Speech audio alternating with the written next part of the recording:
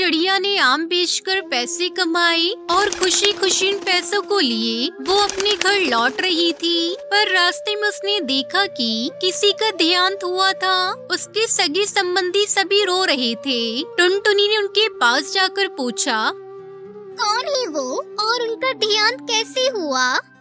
अपने आंसुओं को पहुँचते हुए लूसी कबूतरी ने कहा आगे देखने से पहले आपको सिर्फ़ एक छोटा सा कांटा चुप जाए तो दर्द होने लगता है। पर वो एक बापी है जो रोज़ाना अंगारों पर चलकर आपके लिए दो वक्त की रोटी का इंतज़ाम करता है। तो उस प्यारे से पापा के लिए एक लाइक और सब्सक्राइब ज़रूर कर देना। साथ ही अपने प्यारे से पापा के लिए ये वाला इमोजी ज़रूर सेंड कर देना।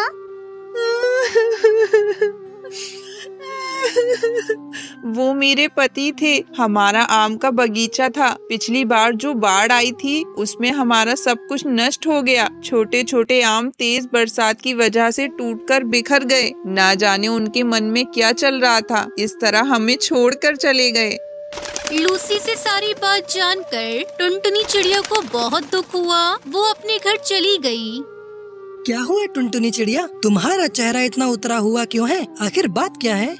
मेरे दिल की बात आप बहुत अच्छे से जान लेते हो। मैं जब भी उदास होती हूँ, आप पहचान लेते हो। न जाने कैसे। दरअसल, जब मैं आम बेचकर घर वापस लौट रही थी, तब मैंने किसी को मरा हुआ देखा। जब मैंने पूछताछ की तो पता चला कि कर्ज के बोझ के तले वो दबकर मर चुका है। क्या ज़िंदगी की कोई कीमत नहीं? उसे अपने बच्चों के बारे में सोचना चाहिए था पर तुम्हारे हिम्मत की दाद देनी होगी। बाकियों की तरह हमारे भी आम के बगीचे नष्ट हो गए। तुमने अपनी हिम्मत नहीं खोई। आप ही ने तो अभी कहा न कि ज़िंदगी बहुत खूबसूरत होती है। यूँ वो पति पत्नी अपनी पिछली ज़िंदगी के बारे में कुछ बात कर रहे थे। आखिर इन दोनों की क्या कहानी है? चलिए हम इस कहानी में देखते हैं। ठीक एक महीने पहले टुनटुनी चिड़िया अपने आम के बगीचे में खड़ी खुश हो रही थी। अरे वाह, इस बार तो आम की उपज बहुत ज़्यादा हुई है। आम में मिठास भी बहुत ज़्यादा है। इस बार हमें बहुत ज़्यादा फ़ायदा होने वाला है। यूँ ही मनी मन सोचकर टुनटुनी चिड़िया बहुत खुश हो रही थी। उसके पति और टुनटुनी चिड़िया ने मिलकर रात भर जाकर अपने बगीचे की रखवाली की। ठीक बारह बजे के समय तेज बरसात होनी शुरू हुई। वो दोनों ये देखकर घबरा गए और वहीं पर बने अपने छोटे से घर के भीतर चले गए। दोनों ये देखकर दुखी हो रहे थे। हे भगवान, आँखों के सामने सारे सपने टूटकर जड़ रहे हैं। दुखी पति पत्नी यूँ ही देखे जा रहे थे। वो रात बीत गई। अगली सुबह जब बारिश थम गई थी, तब उन दोनों ने अपने बिखरे हुए बगीचे की ओर देखा और फूट फूट कर रोने लगे। सब कुछ तहस नहस हो चुका था। आस पड़ोस में रहने वाले सभी पक्षी भी अपने बगीचों खेती की नष्ट होने पर रोए जा रहे थे। पहले तो टुनटुनी चिड़िया बहुत दुखी हुई। फिर हिम्मत से काम लेते हुए टुनटुनी ने अपने पति से कहा सुनिए, अब चिंता मत कीजिए। इस नुकसान को फ़ायदे में कैसे बदलना है, मैं अच्छे से जानती हूँ। टुनटुनी चिड़िया का पति उससे आश्चर्य से देखने लगा। टुनटुनी ने तुरंत सारे झड़े हुए फलों को इकट्ठा कर टोकरी में भरा। अपंग पति को अपने ऊपर ढोकर वो उसे घर छोड़ आई। टुनटुनी की पति की समझ में कुछ नहीं आ रहा था। टुनटुनी ने कच्ची अमियों की टोकरी उठाई और बैठकर बोलने लगी आम ले लो आम खट्टे मीठे स्वादिष्ट आम देसी आम ले लो मीठे मीठे आम ले लो बहुत ही स्वादिष्ट आम ले लो। वहाँ से गुजर रहे सभी पक्षियों को ये कुछ अजीब सा लगा क्योंकि पहले कईयों ने से नहीं चखा था। वो सभी टुनटुनी के पास आए। टुनटुनी ने कच्ची अमिया काट कर नमक मिर्च छिड़क कर उन्हें खाने के लिए दिया। अरे वाह! खाने में तीखा तीखा खट्टा खट्टा हमें और एक प्लेट दे देना। यूँ एक के बाद एक टुनटुनी के पास कई ग्राहकों ने कच्ची अमिया खाई। सभी को भा गई थी। शाम तक टुनटुनी के सारे आम खत्म हो गए। उस दिन टुनटुनी ने बहुत पैसे कमाए थे। इस तरह टुनटुनी ने कच्चे आम का मुरब्बा, अचार, बहुत सारी ऐसी चीज़ें बनानी शुरू की। टुनटुनी ने अकेले ही लगातार एक महीने तक मेहनत की। इसी विषय पर दोनों बात कर रहे थे। और अज्जात होने पर भी तुमने हिम्मत नहीं हारी और खूब मेहनत करके तुमने फिर से सब कुछ हासिल कर लिया। और एक तरफ़ तुम हो और दूसरी तरफ़ वो है, जो अपनी ज़िंदगी में आए तूफानों का सामना नहीं कर पाया और ज़िंदगी से ही हार मान ली। तुम्हें देखकर सभी का मनोबल बढ़ेगा। भगवान ने हम सबको एक ही ज़िंदगी दी है। उसे नकार कर मैं उनका अपमान नहीं कर सकती। जो मेरी ज़िंदगी में तूफ़ान आया है अगर उससे मैं डर जाऊँगी तो आने वाली ज़िंदगी में भगवान ने मेरे लिए जो खुशियाँ लिखी होंगी वो तो मैं देख ही नहीं पाऊँगी। इस तरह टुनटुनी चिड़ी अपना जीवन अपने अपाहिश पति कालू कौए के साथ खुशी खुशी व्यतीत करने लगी। आम तुम तो बड़े हो गए हो। अब तुम तो बहुत जल्दी नीचे गिरने वाले हो। मैं गिरने वाला हूँ। काश किसी भी पक्षी को पता न चले कि मैं जादुई आम हूँ। कोई लालची पक्षी मुझे ले गया तो पता नहीं क्या क्या मांगेगा। अरे तुम कुछ बोलना ही नहीं। ऐसा करने से किसी भी पक्षी को तुम्हारी सच्चाई पता नहीं चलेगी। हाँ ये आइडिया सही है। अरे वाह मिल गया आज का खाना। टुनटुनी चिड़िया ज़मीन पर उतर कर उसके पास पहुँची। उसने आम पर दो तीन मुँह मारे और मज़े से उसको खाने लगी। अरे वाह कितना स्वादिष्ट आम था। मज़ा आ गया। काश की अब थोड़ा पानी मिल जाता तो और अच्छा होता। उसके इतना कहते ही आम चमकने लगा जिसको देखकर टुनटुनी चौक पड़ी और उसके सामने पानी से भरा मटका आ गया। अरे ये कैसा चमत्कार है। मेरी ख्वाहिश करते ही पहले आम चमका और उसके बाद यहाँ पानी आ गया। कहीं ये जादुई आम तो नहीं है। तब तक आप लोग कमेंट में बताएँ ट्वेंटी वन इंटू फोर कितने होते हैं? हाँ तुमने सही पहचाना। अरे वाह तुम तो बोल भी सकते हो। हाँ टुनटुनी मैं जादुई आम हूँ। अगर कोई जानवर मेरा एक बाइट खाकर विश मांगे तो मैं उसकी विश पूरी कर देता हूँ। ओ अच्छा। लेकिन जब तुम्हारे अंदर खाने को कुछ बचेगा ही नहीं तो क्या होगा? किसी भी पक्षी की तीन ख्वाहिश पूरी हो जाने के बाद मैं फिर से पूरा हो जाता हूँ और फिर उस पक्षी के हुक्म का गुलाम नहीं रहता। तो ठीक है। मेरी दूसरी ख्वाहिश है कि तुम हवा में उड़कर कहीं भी जा सकते हो। उसके इतना कहते ही आम हवा में उड़ गया। तुम्हारा बहुत बहुत शुक्रिया टुनटुनी। अब मैं तुम्हारे साथ ही रहूँगा। उस दिन के बाद वो दोनों साथ साथ रहने लगी। टुनटुनी अब जंगल के सभी जानवरों की खूब मदद करने लगी। जो भी जानवर कोई चीज़ चाहता टुनटुनी उसको लाकर दे दिया करती। ये बात जंगल में फैल गई और इसी तरह बिल्लू बिल्ला के कानों तक ये बात पहुँच गई। लालची बिल्लू इसके पीछे का रहस्य जानने के लिए टुनटुनी के पास पहुँचा। हाय हाय मेरी कोई मदद करो। टुनटुनी कहाँ हो तुम? क्या बात है बिल्लू? तुम ऐसे क्यों करा रही हो टुनटुनी मेरी छाती में बहुत दर्द हो रहा है। तुम मेरे लिए अभी काली पहाड़ी पर उगने वाला फूल ला सकते हो। उसमें हर दर्द को गायब करने की शक्ति होती है। उसको तड़पता देखकर टुनटुनी को उस पर रहम आ गया। तुम यही रुकना दोस्त मैं बस अभी आती हूँ। ये कहकर टुनटुनी अपने घर के अंदर चली गई। बिलौटा भी दबे पाँव उसके घर के अंदर झाँक कर देखने गया। टुनटुनी ने आम के अंदर एक मुँह मारा और फिर बोला जादुई आम मुझे अभी काली पहाड़ी पर उगने वाला नीला फूल चाहिए। इतना सुनते ही आम चमकने लगा और उसके सामने नीला फूल आ गया। तभी बिल्लू अंदर घुस गया। मैंने सब कुछ देख लिया है। ऐसा कहकर उसने जल्दी से आम के अंदर मुँह मारकर एक बाइट खा लिया। ए जादुई आम अब तुम वही करोगे जो मैं कहूँगा। मेरे साथ अभी के अभी मेरे घर चलो। ऐसा कहते ही आम चमकने लगा और हवा में उड़ गया। तुम ये ठीक नहीं कर रहे हो बिल्लू। आम दोस्त इसके साथ मत जाओ। इसने मेरा बाइट खाकर ख्वाहिश की है टुनटुनी। मुझे इसकी ख्वाहिश पूरी करनी ही पड़ेगी। अब बिल्लू बिलौटा वहाँ से निकला और आम भी बेबस होकर उसके पीछे पीछे उड़ गया। पता नहीं ये बिल्लू क्या करेगा। ए जादुई आम आज जो शिकार भालू ने किया है उसको वहाँ से गायब करके अभी के अभी मेरे सामने लेकर आओ। इतना कहते ही आम चमकने लगा। कुछ पल में बिल्लू बिल्ला के सामने खाना आ गया। अरे वाह कितना ताज़ा मांस है। ये कहकर बिलोटा उसको मज़े से खाने लगा। अगले दिन बिल्लू बिलोटा सोचने लगा। आज तो मेरा मन है कि जिगरबाज के हाथों शिकार किए हुए जानवर का मांस खाऊं। ऐसा कहकर उसने आम को हुक्म दिया। बास के खाने की चोरी होने वाली बात अब पूरे जंगल में फैल गई और जिगरबाज ने शाम के टाइम सभी पक्षियों को सभा में आने को हुक्म दिया। वाह मज़ा आ गया। ये जिगरबाज का शिकार तो बहुत ही बड़ा निकला। आगे भी कई दिनों तक चल जाएगा। ऐसा कहकर वो आराम से सो गया। शाम के टाइम टुनटुनी चिड़िया उसके पास आई। टुनटुनी तुम यहाँ क्या कर रही हो? मैं मेरे दोस्त आम से मिलने आई थी। ये सब मेरा है। तुमको इसकी परवाह करने की कोई ज़रूरत नहीं है। ए जादुई आम आज तुम मेरे लिए ताजी ताजी मछलियों का इंतज़ाम कर दो। बिल्लू बिल्ले तुम्हारी तीन ख्वाहिशें पूरी हो चुकी हैं। अब तुम्हारा कोई हुक्म मुझ पे नहीं चलने वाला। तुम झूठ बोल रहे हो। टुनटुनी की तो तुमने अनगिनत ख्वाहिशें पूरी की हैं। फिर मेरी बस तीन क्यों?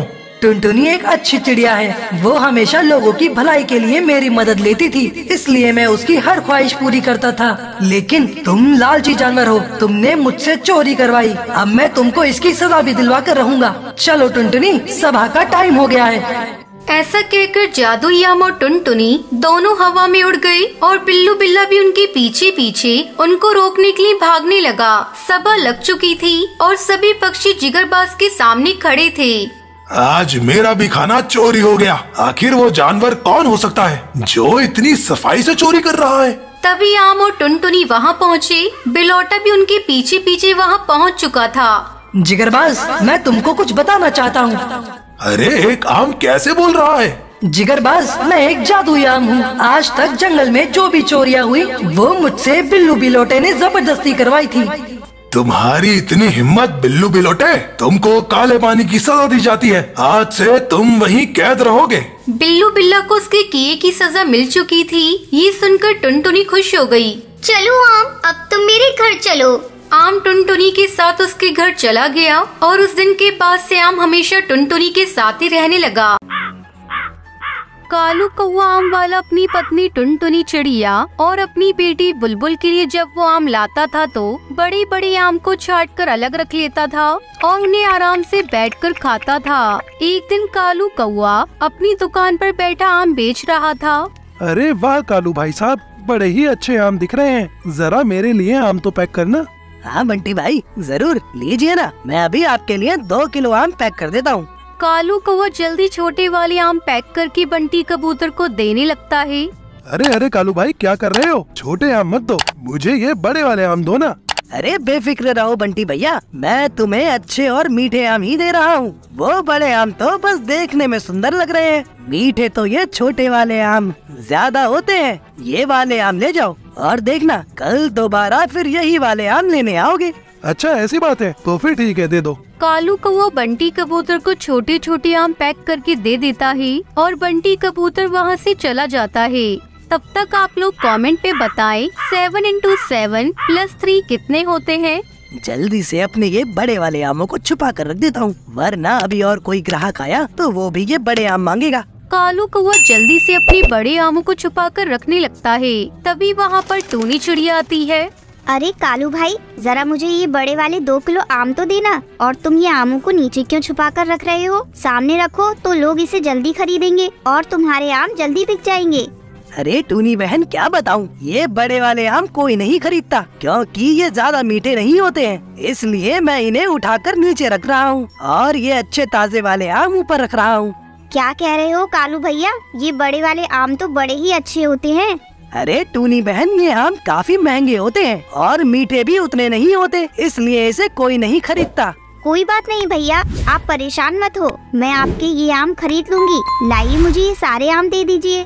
कालू कौआ टूनी चिड़िया की बात सुनता है कि टूनी चिड़िया उसके छुपाए हुए सारे बड़े आम खरीदने की बात कर रही है तो कालू अपने मन में सोचता है अरे ये टूनी चिड़िया तो मेरे बड़े आमों के पीछे ही पड़ गई है। अब मैं इसको अपने ये इतने मीठे और रसीले आम नहीं बेच सकता। इतने सारे बहाने तो बना दिए लेकिन यह है कि मान ही नहीं रही। अब मैं क्या करूँ?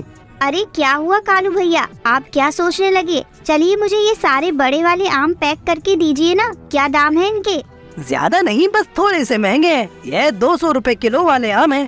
क्या बात है कालू भैया? अब मुझे समझ में आया तुम्हारे आम कोई क्यों नहीं खरीद रहा है। अरे इतने महँगे आम कौन ही खरीदेगा? और ये छोटे वाले आम कैसे दिए?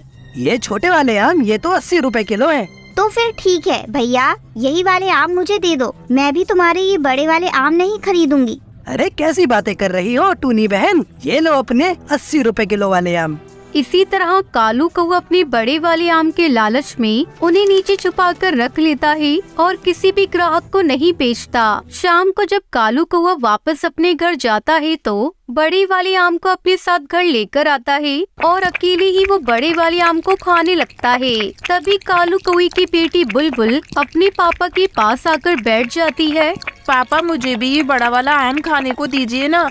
तुम लोगों से मैंने कितनी बार कहा है कि बाहर छोटे वाले आम की पेटी रखी है। जाओ। उसमें से जाकर जितने भी आम खाने हैं खा लो। लेकिन मैं ये अपने बड़े वाले आम में से तुम में से किसी को भी नहीं दूँगा। अरे यहाँ तक कि मैंने अपने ग्राहकों को भी ये वाले आम नहीं बेचे। और तुम लोगों को क्या लगता है कि मैं ये खाने के लिए तुम लोगों को दे दूँगा? बिल्कुल भी नहीं। कालू कौए को बुलबुल पर इस तरह चिल्लाता हुआ देख देखकर कालू की पत्नी टुनटुनी चिड़िया कालू के पास आती है। अरे ऐसा क्या कर दिया मेरी बेटी ने जो तुम इसके ऊपर इतनी ज़ोर ज़ोर से चिल्ला रही हो?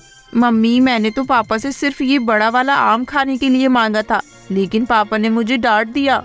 देखो टुनटुनी मुझे मेरे आम खाने के बीच में कोई भी परेशान करे मुझे अच्छा नहीं लगता। इसलिए तुम और बुलबुल अभी के अभी यहाँ से जाओ और मुझे आराम से मेरे आम खाने दो। मैंने बहुत पक्षी देखे हैं लेकिन तुम्हारे जैसा आम का इतना बड़ा लालची पक्षी मैंने आज तक नहीं देखा जो आम के लालच में अपनी बीवी और बच्चों पर इस तरह चिल्लाए। हाँ हाँ मैं हूँ आम का लालची, और मैं अपने आम के लालच को कभी खत्म नहीं करूँगा, क्योंकि मुझे आम बहुत ज़्यादा अच्छे लगते हैं। वो भी ये बड़े वाले रसीले आम। इन्हें तो मैं अपने ग्राहक तक को नहीं देता। तो तुम लोगों को क्या खाक दूँगा? ये आम सिर्फ़ और सिर्फ़ मेरे लिए हैं, और इन्हें सिर्फ़ मैं ही खाऊँगा। कोई मुझे आम का लालची कहे या कुछ भी, मुझे फ़र्क नहीं पड़ता। लालच किसी भी चीज़ का हो, इतना लालच करना अच्छी बात नहीं होती। और तुम्हारा ये आम का जितना लालच है ना, देखना, एक दिन तुम्हें बर्बाद कर देगा। इसलिए मैं तुमसे कह रही हूँ, बुलबुल के पापा अपनी आम के लालच को तुम कम कर लो। इतना बोलकर टुनटुनी चिड़िया अपने पति के कमरे से बाहर निकल आती है। टुनटुनी के जाने के बाद कालू कौआ आराम से बैठकर अपने आम को खाने लगता है। फिर कालू कौआ अपनी दुकान पर वापस जाता है और फिर से वही छोटे छोटे आमों को बेचने लगता है। तभी बंटी कबूतर वहाँ आ जाता है कालू भाई साहब तुम ऐसा करोगे क्या? मैं तुम पर इतना भरोसा करके ये छोटे वाले आम लेकर गया था और ये आम तो बिल्कुल भी मीठे नहीं है। अरे कैसी बातें कर रहे हो बंटी भैया?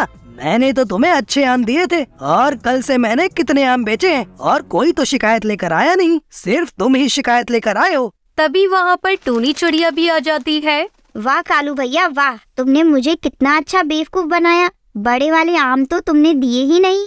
ऊपर से मुझे ये फीके फीके आम पकड़ा दिए। मुझे ये आम नहीं चाहिए। लो रखो अपने आम और मुझे मेरे पैसे वापस करो। हाँ हाँ कालू भैया मुझे भी आम नहीं चाहिए। चलो ये आम वापस ले लो और मुझे मेरे पैसे वापस दे दो। ऐसा कहाँ होता है कि मैं पैसे वापस कर दूँगा? अगर मैं सबको ऐसे ही पैसे वापस करने लगा तो मेरे आम का धंधा तो चौपट हो जाएगा और मैंने तो तुम्हें अच्छे आम दिए थे। पैसे वैसे कुछ वापस नहीं दे पाऊँगा। तो फिर ठीक है, पैसे ना दो कालू भैया। तुम्हारा धंधा तो वैसे भी चौपट हो गया, समझ लो। मैं पूरे जंगल में ये बात फैला दूँगा कि तुम अच्छे अच्छे आम अपने लिए रख लेते हो और हम सबको खराब आम पकड़ा देते हो। फिर देखना, पूरे जंगल में कोई भी तुमसे आम नहीं खरीदेगा। हाँ बंटी भैया, बिल्कुल सही कह रहे हैं। देखना, मैं भी पूरे जंगल में ये बात फैला दूँगी कि तुम सबसे खराब आम बेचते हो, फिर कोई भी तुमसे आम नहीं खरीदेगा। अब बंटी कबूतर टूनी चिड़िया पूरे जंगल में बात फैला देते हैं कि कालू को वो खराब आम बेचता है उससे कोई भी आम मत खरीदना। जंगल का कोई भी पक्षी कालू से आम नहीं खरीदता कालू को वो अपने घर जाता है और उदास बैठ जाता है। क्या हुआ? इतने परेशान काहे बैठे हो बुलबुल के पापा? अरे तुम सही कह रही थी टुनटुनी। मुझे मेरे लालच का फल मिल गया। मुझे आमों को लेकर इतना लालच नहीं करना चाहिए था। मेरा आम बेचने का धंधा तो चौपट हो गया। मुझे तुम्हारी बात मान लेनी चाहिए थी, लेकिन मैं आगे से ध्यान रखूँगा और अपने आम को लेकर इतनी लालच नहीं करूँगा। इस तरह लालची कौ को उसके लालच का फल मिल जाता है।